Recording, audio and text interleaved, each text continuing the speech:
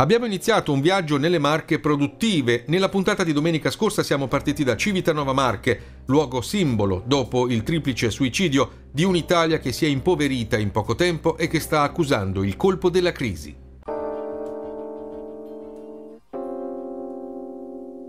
Il nostro viaggio per le Marche per scoprire lo stato di salute del sistema produttivo oggi ci porta a Pesaro.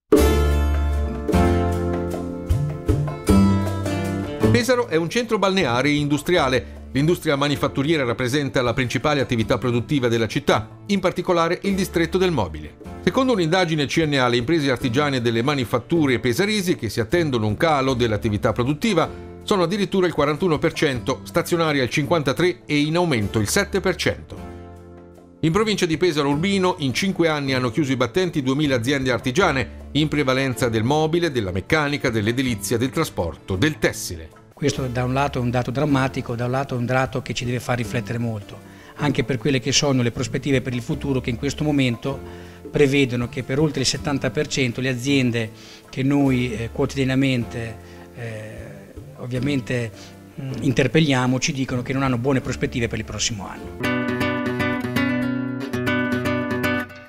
Di eh, difficoltà che esiste ovviamente nel nostro territorio, che fa riferimento a un importante calo dei consumi che si verifica in tutti i settori eh, della distribuzione con eh, aspetti che cominciano a diventare sensibili anche in quello dell'alimentazione che è il settore insomma, diciamo così, più importante, strategico. Le aziende di prodotti alimentari, forni, pasticcerie e rosticcerie hanno ridotto il lavoro del 20-25%, per non parlare delle attività legate alla ristorazione, dove il calo ha raggiunto punte del 30%.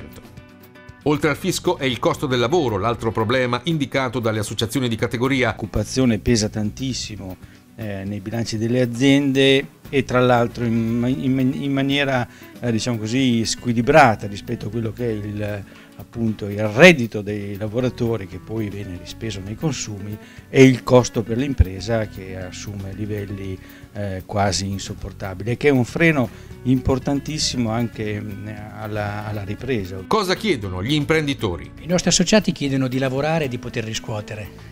In questo momento hanno una grande difficoltà anche quelli che lavorano a riscuotere i propri crediti e hanno una grandissima difficoltà ad accedere al credito. La via d'uscita dalla crisi segnalata dalle categorie è ancora una volta il turismo. C'è la possibilità, le nostre città in, questi, in, queste ultime settimane hanno visto eventi importanti a Pesaro, a Gabice, a Fano, eh, c'è il prossimo Giro d'Italia che è una importante vetrina, lì secondo me c'è possibilità eh, di eh, recuperare anche altri spazi.